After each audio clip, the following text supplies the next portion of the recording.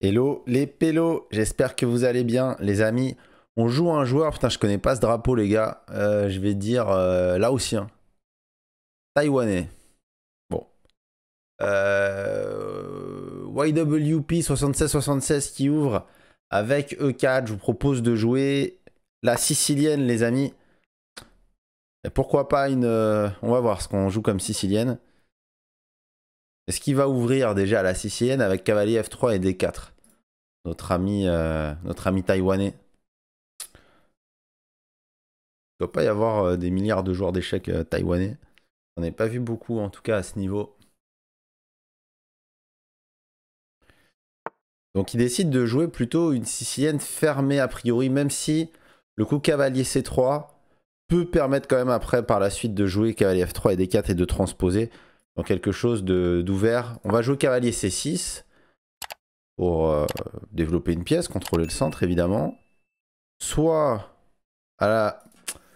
des coups comme fou B5, fou B5 à la mode. À cavalier F3, potentiellement il veut transposer dans une sicilienne ouverte. En tout cas, il n'y aura pas d'attaque grand prix, pas de sicilienne fermée avec, euh, avec F4. Alors, quelle sicilienne on veut jouer?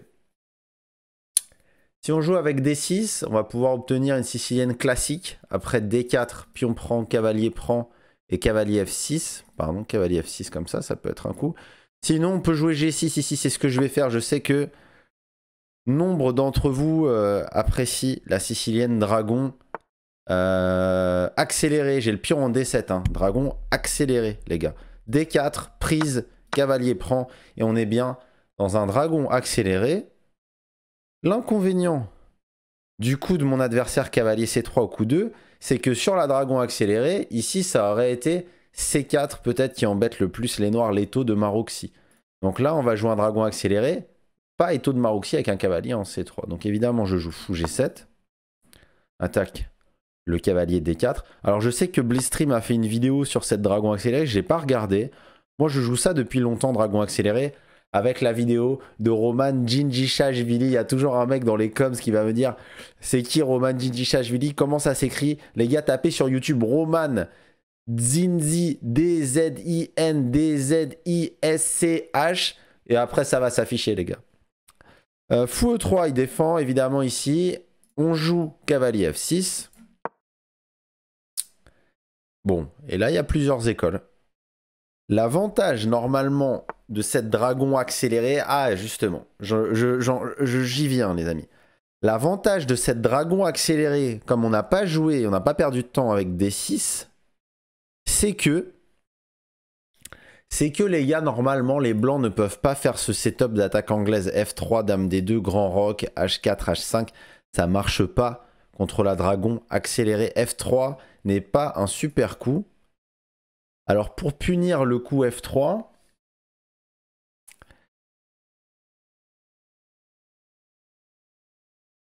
alors j'hésite un tout petit peu avec Dame B6, mais Dame B6 à mon avis se heurte à cavalier F5 avec attaque sur la dame et attaque du fou G7, donc le coup ça doit être quand même ici. Rock d'abord. Donc simplement continuer le développement. Et sur Dame D2, donc c'est euh, le problème. Euh, les blancs n'ont pas compris que j'allais jouer un dragon accéléré. Ils essayent d'aller pour le setup avec Grand Rock. Mais là, on peut jouer directement D5. Si je joue D6, je suis dans une position théorique de dragon normal. Et après Grand Rock, le coup ce serait D5 d'ailleurs. Mais là, je vais gagner un temps, je vais faire directement D5. D5. Voilà, et là, les noirs ont déjà égalisé. Un minima. Je, je pense que les noirs ont juste égalisé. Il ne doit pas y avoir d'avantage pour les noirs. Mais bon, bah, c'est déjà une victoire en soi. Au coup 8, on a égalisé, les gars. La dragon accélérée. Qui paye.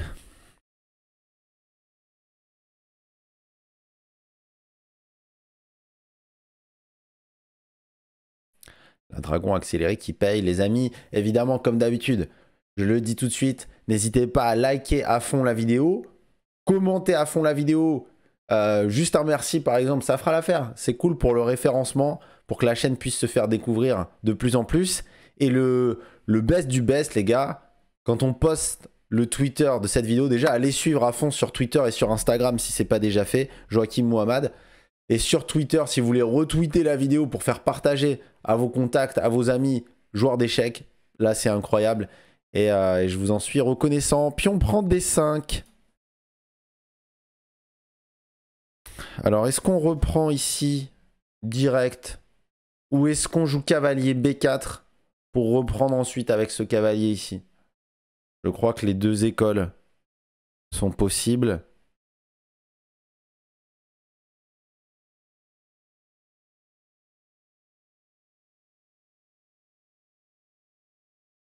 me dit hi dans le chat. Alors les gars, qu'est-ce qu'on fait?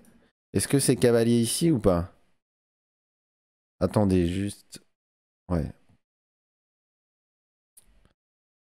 Euh, attendez, juste une seconde. J'attends quelqu'un. Je suis en PE. U arrive quand? Alors désolé les gars. Du coup, euh, est-ce que vous avez choisi à la maison quel coup vous joueriez? Allez, le, coup de principe, disons le coup le plus basique, c'est celui-ci. Alors allons pour... Euh, allons-y, même si je crois que B4 est un coup très intéressant pour reprendre comme ça. Allons-y pour cavalier prend. On va jouer simple chess. Vous auriez joué quoi, vous? Plutôt cavalier B4 ou cavalier reprend, simplement? Alors, s'il prend C6, B prend, j'ai pas forcément peur d'avoir un pion isolé, là, sur la case C6. Parce que ça va m'ouvrir la colonne B, ça se coordonne bien avec mon fou. Euh, S'il a fait F3, son petit roc est un peu faible, donc il sait plus trop où il va mettre son roi. Donc écoutez, cavalier prend, B prend. C'est vraiment pas un souci, je vais avoir un beau jeu de pièces.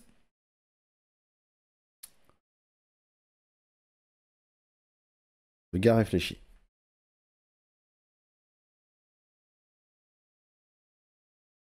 Franchement, dragon accéléré, hein.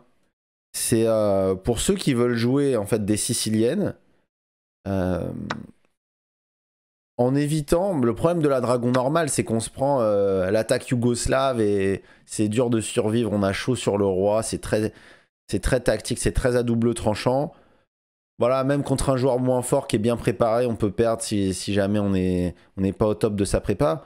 Alors que Dragon accéléré, c'est un jeu plus positionnel, hein, ça il faut le comprendre. C'est plus positionnel le dragon accéléré. Voilà, j'ai un beau jeu de pièces. Regardez ce fou là, ce fou, il est incroyable ce fou. Il met une grosse pression ici. Le cavalier est bien. Ce fou, il va pouvoir venir tranquillement en F5, une tour en B8, une dame en A5, une tour en D8. J'ai vraiment un beau jeu de pièces.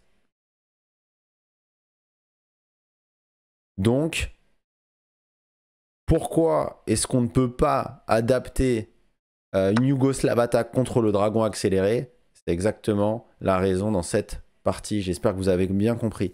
Alors, cavalier prend D5. Est-ce que je reprends avec la dame Est-ce que je reprends avec du pion Est-ce que je reprends avec du pion, j'ai dit? Est-ce que je reprends avec le pion?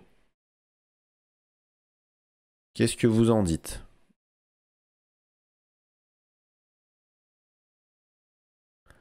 Alors, une chose qu'il faut savoir dans les siciliennes en général, c'est qu'imaginons je fais dame prend et qui joue euh, par exemple dame prend et que je fais pion prend.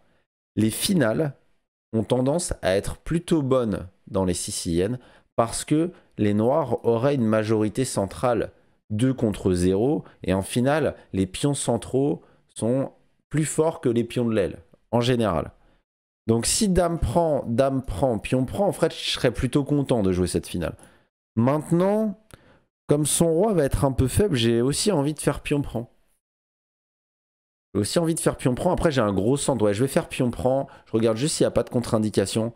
Ça m'a l'air même encore plus puissant que la finale.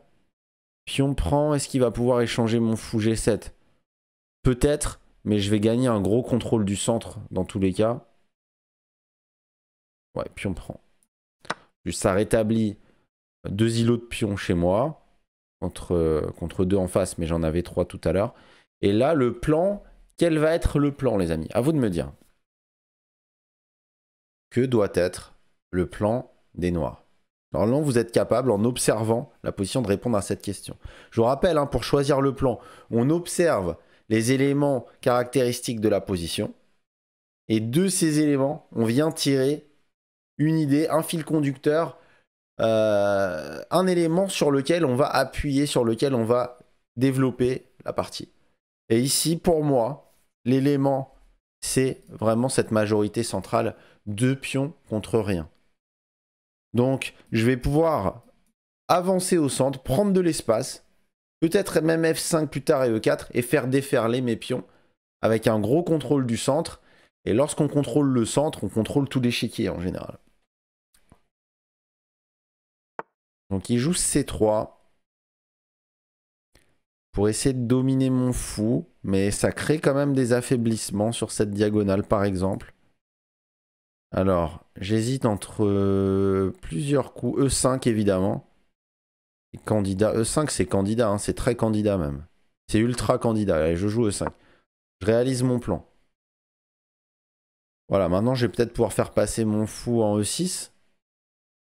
Ça a l'air d'être une case intéressante pour le fou. Ce fou, peut-être qu'en B7, il serait pas mal non plus, mais il va peut-être buter sur euh, ces deux pions-là. Donc sans doute le fou en E6. Je vais jouer pour la pousser D4 pour essayer d'ouvrir la position.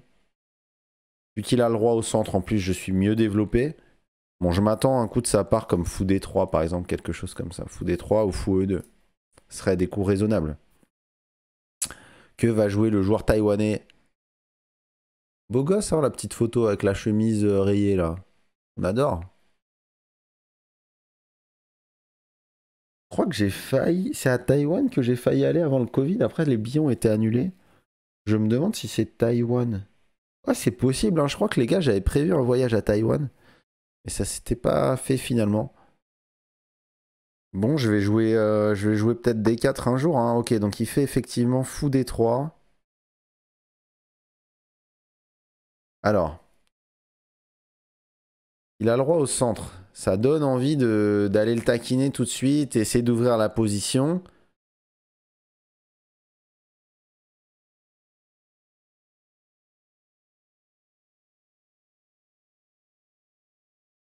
Je regarde les coups forcés, hein, évidemment, dame h4 échec, mais après G3, je vois pas vraiment ce que ça m'apporte.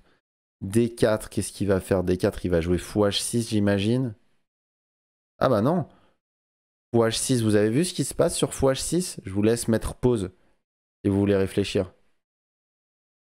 D4, fou H6, je vais faire fou prend en H6. Dame prend, pion prend C3. Et j'attaque le fou D3 qui n'est plus protégé. Signal faible ici. Donc D4, il peut pas vraiment jouer fou H6 apparemment. Donc D4, s'il prend, pion prend, je vais ouvrir la colonne E pour ma tour. Donc D4, ça a l'air sérieux comme coup.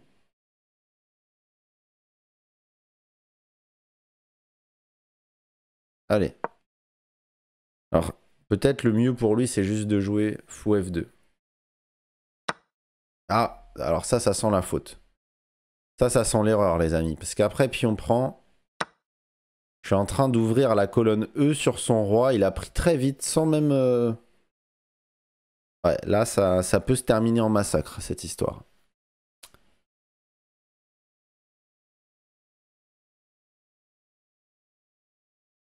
Là, vraiment, prise comme ça, instant, avec le pion C3. Ne faites pas ça chez vous. Don't do this at home. Alors, le fou va bouger.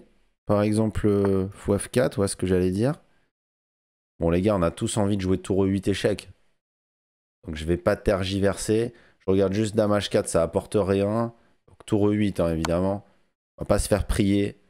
Quand on peut jouer tour 8 comme ça, donner un échec sur un roi au centre, en général, c'est très fort. Sur fou, fou E4, j'ai déjà F5 qui gagne une pièce.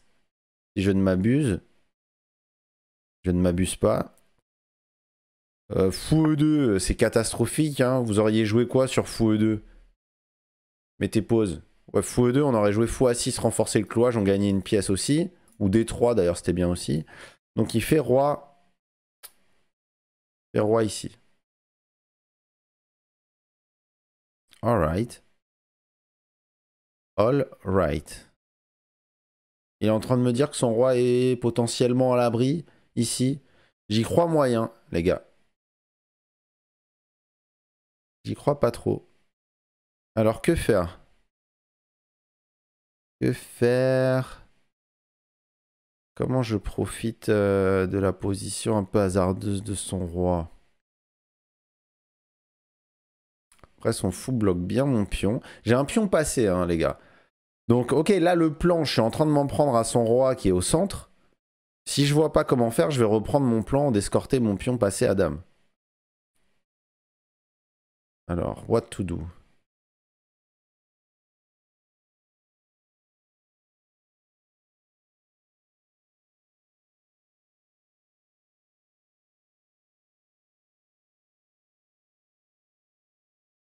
Ok. J'ai mon pion passé. Il faudrait que je vire ce bloqueur. Maintenant, c'est pas ultra évident. Immédiatement, je vois pas trop comment faire. Alors, je pense à des coups comme tour E3, évidemment, mais malheureusement, ça menace pas grand-chose. Mon idée, c'était que sur fou prend, pion prend, dame prend, il y avait à la fin fou D4 en filade. Euh, c'était intéressant, mais tour E3, il peut juste jouer un coup de tour E1, par exemple. J'ai pas avancé. Il faut vraiment que là, je développe mes pièces. Où est-ce que je mets ce fou? Bon, j'ai l'impression que ce fou, il doit, il doit venir ici, finalement.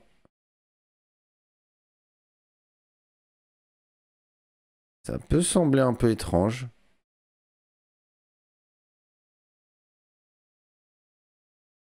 Ça semble étrange ou pas? C'est peut-être pas ici sa place. C'est peut-être ici presser à deux et paralyser la tour ici. peut être une idée aussi. Pas évident là de, trouver le bon placement de pièces. Dame échec, j'aimerais bien peut-être provoquer G3, mais dame échec il va jouer fou G3. J'ai pas gagné grand chose à part dame, à part si je fais dame H5. Ensuite j'ai des idées de fou H6. Ça c'est pas inintéressant.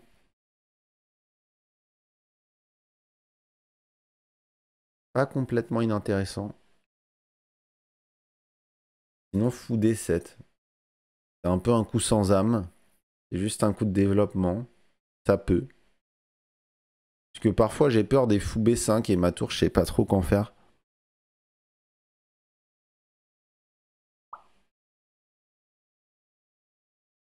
C'est pas si évident. Fou F5, je peux pas, on est d'accord, parce qu'il va faire... Euh, ok, sinon Dame H4, Fou G3, Dame H5, avec idée de faire Fou F5. Et changer le bloqueur. Et s'il fait Fou, pardon, Fou B5, attaque ma tour, et eh bien là, j'aurai Tour E3. Vu que son Fou est... Ah mais non, Fou B5, j'aurais même Dame prend. Ok, c'est pas mal ça. Alors je vais y aller pour ça. Échec. J'essaie de provoquer un affaiblissement. Ça, ça, serait, ça serait pas mal pour moi de provoquer un affaiblissement ici. Même si je perds un temps, moi je crée des faiblesses dans sa position. Il y a une première faiblesse ici. J'essaie de créer une deuxième faiblesse sur son roi. Et là, j'avais dit Dame H5. Attention à pas... Attention à pas me faire enfermer Dame H5, Fou E4. Pas me faire enfermer cette tour.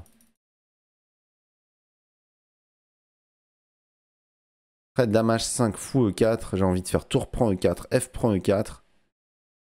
Il va survivre à ça, sérieux?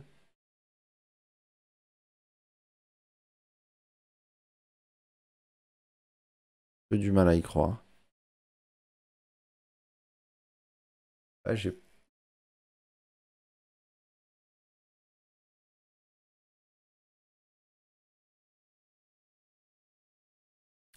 J'ai un peu du mal à croire qu'il puisse survivre à ça, mais peut-être.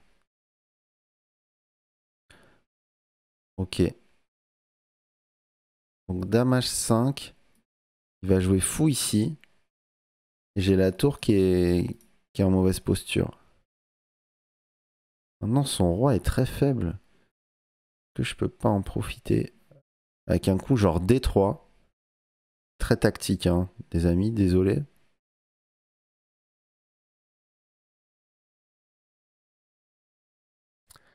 Un sacrifice de qualité, ouais, mais ça. Peut-être Damage 4 était pas, pas si ouf finalement au vu du fou ici qui arrive. J'ai du mal à empêcher d'ailleurs. Ok, je vais jouer mon idée première. C'était Damage 5. Et sur fou E4, j'envisage peut-être de sacrifier ici. Peut-être qu'il fallait jouer juste un coup tranquille. J'ai essayé de continuer à jouer dynamique pour jouer sur la position du roi. Peut-être qu'il fallait humblement faire un coup de fou E6. Parfois j'ai du mal à, faire ce genre de coup calme quand je vois un roi en F2. Peut-être juste fou E6, tour C8, continuer à développer les pièces. Accepter que son, son setup était pas si catastrophique, même si j'ai beaucoup de mal à y croire. Ok, donc il décide d'aller chercher la qualité. Et là, je vais envoyer sacrifice de, de caloche, hein, les gars. Ça va être le moment. Ça va être le moment d'envoyer le sacrifice de qualité. Bon, j'ai pas le choix en fait, c'est pas un sacrifice, c'est un. Alors comment je la donne cette qualité? C'est ça la question. je vais la donner comme ça. Tu reprends. Ouais, j'ai un peu merdé peut-être les gars. Alors ma position, j'ai quand même quelques compensations, hein, on va pas se mentir. J'ai des compenses, mais c'est pas aussi bien que j'aurais espéré. Maintenant, je vais avoir un... Je vais avoir un pion passé qui va être assez incroyable ici. J'hésite entre fou B7 et fou A6. Là, il faut vraiment que je développe des pièces.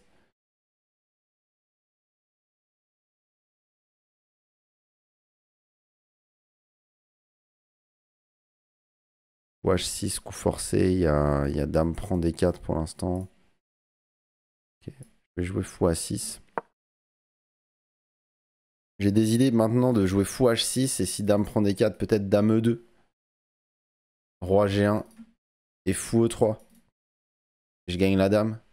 Maintenant, je pense qu'il va jouer un coup comme tour E1, qui serait à mon avis fort.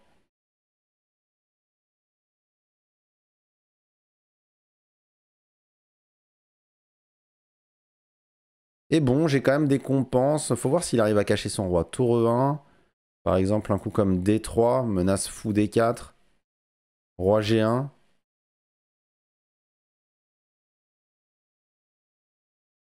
Et quelques compenses. Je, je suis pas sûr que ce soit assez. Les vals, ça doit être euh, plus 1, euh, plus 1, 2, un truc comme ça. Mais bon, pas si évident pour lui de concrétiser. Ce pion passé va être fort. Maintenant, j'avais pas besoin de sacrifier de qualité. Dame H4, je pense que c'était une faute.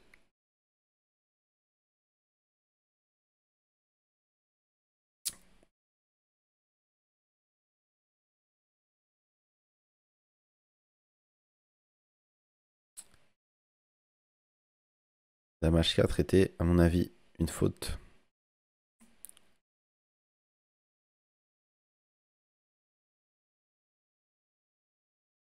Bon, je menace ça, donc euh, à part tour 1, je vois pas vraiment d'autres coups pour lui. Parce que fou H6, il fait fou F4. Les gars, je vais jouer fou prend F4, dame prend F4, dame E2. Alors, dame D1, c'est un coup bizarre. D1, c'est un coup très bizarre, non? Vous en pensez quoi?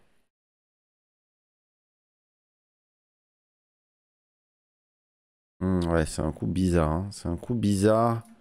Ça, ça arrange une pièce à la maison. C'est pas terrible. Ok, il propose l'échange des dames. Je fais quoi? Dame G5 Pour menacer Dame E3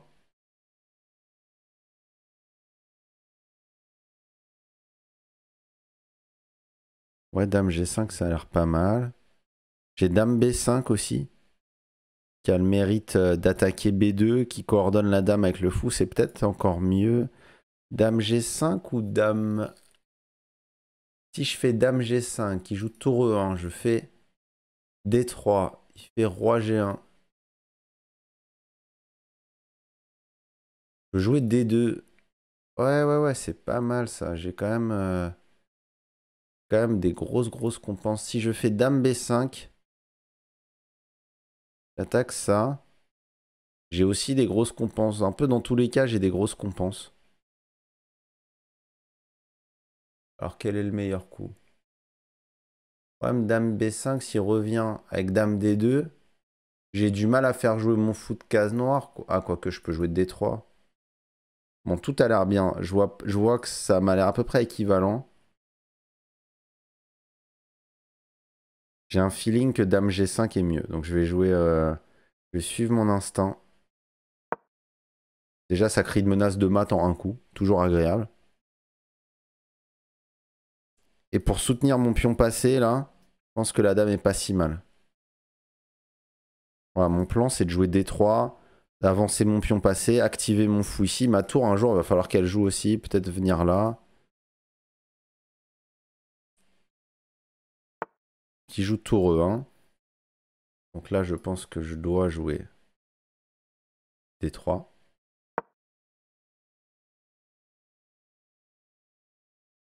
Menace fou ici. Bon, il peut jouer E5 quand même.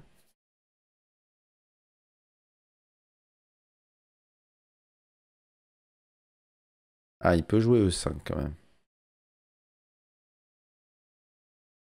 Mais par exemple, sur un coup comme E5, j'aurais tour C8. Avec idée tour C2. Et s'il fait tour C1 sur tour C8, est-ce que vous voyez ce que, ce que les noirs joueraient? Tour C8, tour C1, qu'est-ce qu'on joue? Oui, c'est ça. On peut faire tour prend, dame prend.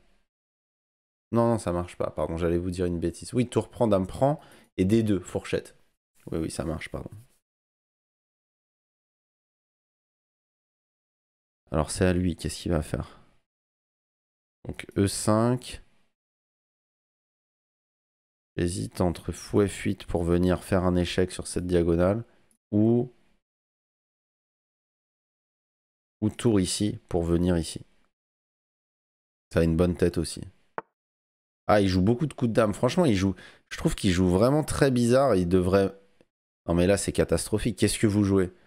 Peut pas. Euh, depuis le début, je trouve qu'il joue très mal. C'est un miracle qu'il ait une position euh, décente euh, au coup 21. Qu'est-ce que vous jouez ici avec les noirs? Mettez pause. Si vous voulez chercher, évidemment, là, on joue fou D4. Hein. Fou D4, les gars, son roi peut plus cacher. Et là, il va payer la position de son roi maintenant. Et là, ça a l'air vraiment perdant pour lui. Il est alors il peut faire tour E3, mais c'est très très moche. Faire roi F1, mais c'est très moche aussi, il se met dans l'alignement là. Non, il a joué trop de coups de dame, hein. vous voyez ça, il faut pas faire. Qu'est-ce que vous joueriez dans cette position? Est-ce qui prend la tour ici? Levez la main. Levez la main ceux qui prennent la tour. Les gars, faut pas prendre la tour. Il y a un clouage, on le renforce. Donc, euh... ok, on va activer les pièces. Il y a une tour qui fait rien ici. Allez, on la ramène en jeu. Tour C8. Menace tour C2, le roi va bouger, on va gagner une tour nette. C8, je ramène ma dernière pièce en jeu. D2 aussi était probablement un coup candidat sérieux.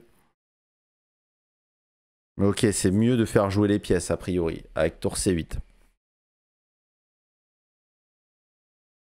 J'ai hâte de lancer le rapport de partie pour voir euh, ce qu'il fallait jouer à la place de Dame H4.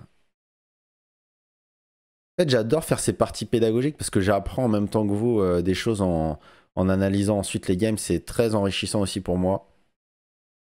Donc les gars, c'est top. Si ça vous sert à vous, euh, c'est parfait. Tout le monde est, ultra content. Donc il joue fou F4. Intéressant. Qu'est-ce que vous jouez ici, messieurs? Alors problème, si on fait... Est-ce qu'il y a un problème? Si on fait tour C2... Il va jouer roi E1. Et après, je peux pas prendre la tour parce que... Ah, mais j'aurais... Non, non, mais c'est foutu pour lui, non? Oh là, là, il faut un tout petit peu calculer. Ça devient... Tour C2. Sur roi ici, bon, je suis content. Sur roi F1, j'ai D2. Roi G1, je suis content. Et sur tour C2, roi E1, j'ai dame A5.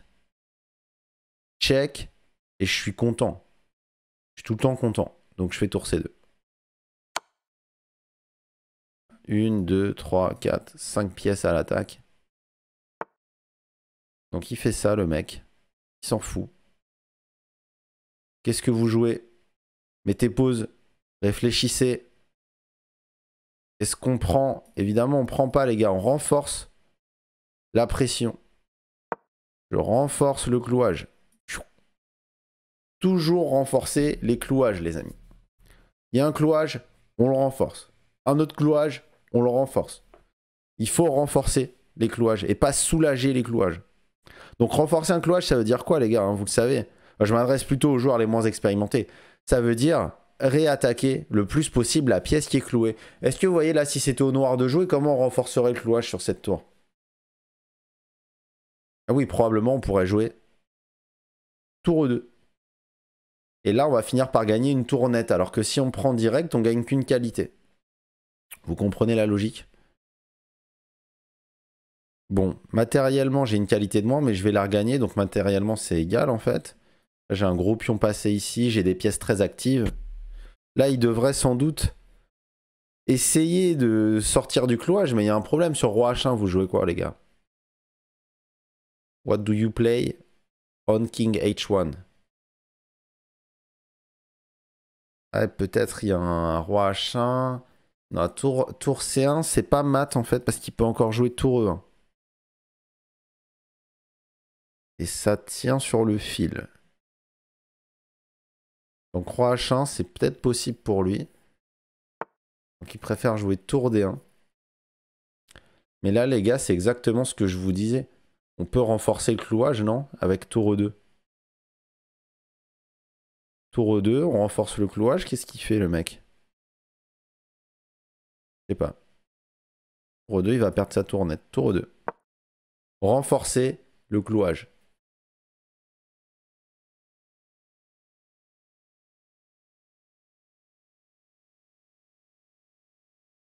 Bien sûr, j'ai checké que dame prend, pion prend, il n'y avait rien de spécial. Donc là, je menace de faire fou prend ici. Et après fou prend, tour prend, j'aurais gagné une tour nette. Nette d'impôt, les gars. Donc très franchement, mon adversaire, il a mal joué, je trouve. Euh, violation des principes. Déjà dans l'ouverture, dragon accéléré, il s'est trompé, il a joué setup attaque anglaise. Malgré tout, je crois que j'ai blunder avec Dame H4, j'ai perdu du matériel. Mais après, il a joué tellement de coups de dame, il respecte pas les principes. Vous voyez, on est à 2080, c'est pas, un, pas un joueur débutant. Il respecte pas les principes, les pièces viennent pas en jeu. 3-4 coups de dame comme ça, non, c'est pas... Pas sérieux, hein.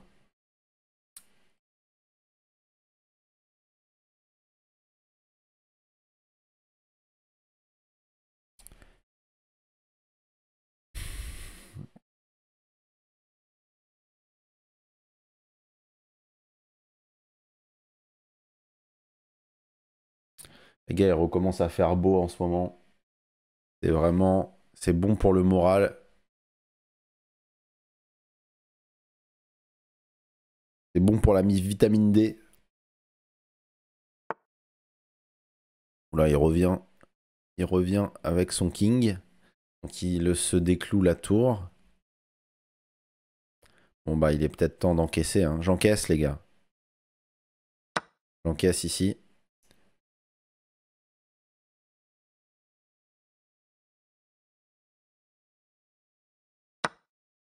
Il prend. Alors là, tous les chemins mènent à Rome. Hein. On peut simplifier la position avec l'échange des dames. Mais comme son roi est très faible, j'ai même envie, les gars, j'ai même envie de garder les dames sur l'échiquier. Regardez, là, il y a, y a, son roi qui est... Si on tourne l'échiquier, vous allez vous rendre compte.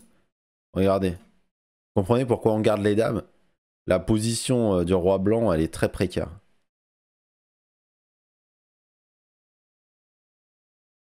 J'aime bien faire ça de temps en temps. Avant, je le faisais beaucoup, euh, je le fais moins maintenant, mais même dans les parties d'échecs euh, en réel, une fois que j'avais joué mon coup, voilà, je passais, alors discrètement, hein, je n'allais pas déranger mon adversaire, mais je me mettais un peu derrière pour voir la position sous un autre angle de vue, sous l'angle de vue de mon adversaire. Et parfois, c'est intéressant de se dire, ah, qu'est-ce que je ferais avec sa position à lui? Voilà, ce genre de, ce genre de réflexion. Dame F4, les gars, les pions passés doivent être poussés. Check. On avance le pion. Le roi n'a pas de bonne case, il va devoir venir sur la diagonale de madame. Et je vais vous laisser chercher la conclusion.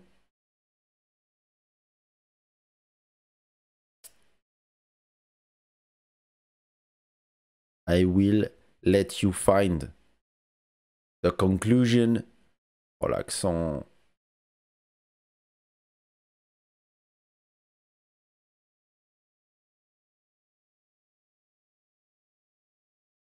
Les gars, avec Aizu, on a dû faire un call en anglais la dernière fois, on vous racontera bientôt. Parce qu'on a, un partenariat qui est en train de se créer. On va vous en parler très très bientôt dans les prochains jours. Les gars, on a dû faire un call en anglais, mais c'est trop marrant. Ouais. Eizu, il a assisté à mon, anglais, les gars. Alors, vous jouez quoi ici, Très noir? What do you play? Bon, il y a plein de coups qui ont l'air forts. Par exemple, vous pouvez peut-être penser à la maison au coup de tour 1. Mais là, j'ai même l'impression que le roi a pas des milliards de cases. Euh, même pas de cases du tout. Après, tour H3. Il met la tour en prise. Je trouve ça esthétique. C'est mat, les gars. C'est parti. Tour H3, échec et mat. Alors, il va jouer dame E3. Et on va prendre en E3. Bon, évidemment, tour 1 faisait le boulot. Tour H3, c'est joli de mettre la tour en prise. On va pas se mentir, on adore. L'esthétisme est important aussi.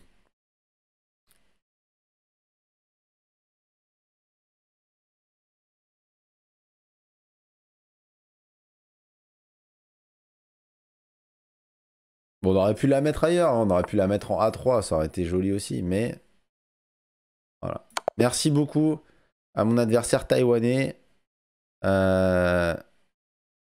Oh, j'ai gagné 10 points hello. C'est nice. Ok, ok. On lance un rapport, les gars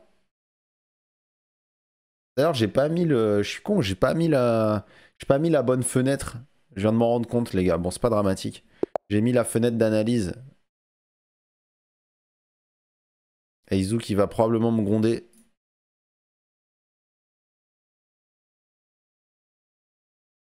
Ouh, la précision du MF. 92-8. Ouais, lui, je savais qu'il avait fait une partie un peu, un peu bancale. Alors les gars, la leçon, la Yougoslave attaque ne marche pas contre le dragon accéléré. J'espère que vous avez compris pourquoi. Même si la démonstration n'a pas été aussi parfaite que j'aurais espéré. F3, du coup, alors, ouais, Chesscom, il met théorique, mais c'est là les limites de travailler qu'avec Chesscom si vous êtes débutant. C'est que c'est théoriquement pourri, en fait, le truc.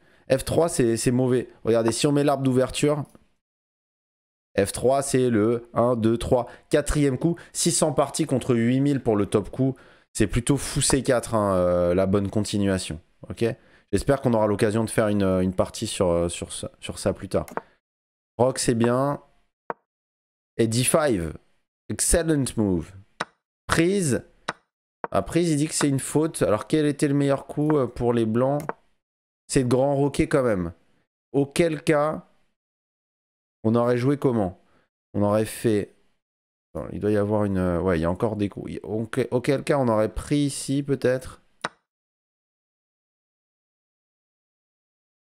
Scorpion prend, c'est dégueu. On a une structure horrible. Euh, cavalier prend. Dame prend des deux. Tour prend des deux. B prend C6. F prend E4. Cavalier G4 attaque le bishop. Et le bishop peut pas se maintenir sur cette diagonale. Et il y a des menaces de fou H6. Par exemple, sur ça, on va jouer sur en F6. Sur fou ici, E5. Le fou dégage, fou H6. Et du coup, c'est déjà problématique, très problématique pour les blancs qui sont obligés de donner la paire de fou et après, c'est complètement plié.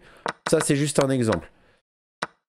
Ok. Et par exemple, sur prise E4, prise E4, euh, qu'est-ce qu'on ferait ici? Ouais.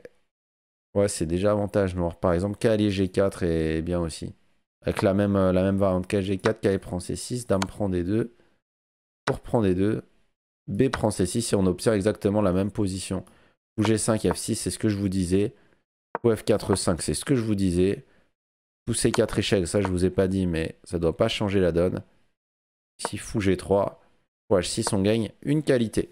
Voilà pourquoi c'est pourri de jouer la Yougoslave attaque sur le dragon accéléré. Je vous rappelle juste pourquoi. Dans le dragon classique, on a le pion en D6, les gars. Et donc, on, on perd un temps parce qu'on ferait D5. Je vous montre juste après. Donc là, il y a eu D5, prise, cavalier prend. Est-ce que c'était mieux selon l'ordi de jouer KB4 Non, c'est un peu moins fort KB4, visiblement. Ouais. KB4 un peu moins fort. Ok, on a bien fait de jouer comme on a joué. Bon choix de reprendre avec le pion. Il y a déjà un avantage de moins 1,15. E5 pas ouf. Enfin, c'est ok. À tour B8 mieux. Ouais, j'ai hésité à jouer tour B8. On met une pièce en jeu, ouais. un peu plus fort, je suis d'accord. D4 c'est bien, on avance le pion passé, on a créé une première faiblesse. Tour E8 correct. Ah mais tour E8 pas le meilleur coup. Quel était le meilleur coup? Dame B6. Ah, avec l'idée de faire ça? Attendez, ça, ça sera intéressant. C'est ça. B3, fou A6. En fait, faut virer le bloqueur. Et je le sais en plus. Et je le sais. Bon, les gars, fallait virer le bloqueur du pion passé. Très logique. Dame B6, j'aurais pu trouver ce coup. vous y avez peut-être pensé à la maison. Bon. Tour E8, on a tellement envie de le jouer. Roi F2, bien joué. Ouh, Dame H4, finalement, pas mal. Alors pourquoi? Ah, c'est ça qui est... Bon, je garde l'avantage. Fallait revenir ici. Ah, et sur fou E4, il y a tour prend. Mais oui, je, je sais pas pourquoi j'ai pas joué ça. Et fou E4 mistake? Ouais, il aurait dû ramener des pièces. Ah, et fou E4, et là, tour E4 mistake. Mais c'est quoi le coup? Non, j'allais dire D3, mais ça peut pas être D3. C'est quoi le bon coup? C'est pas tour prend 4, mettez pause si vous voulez chercher. Quel est le bon coup ici? Nani?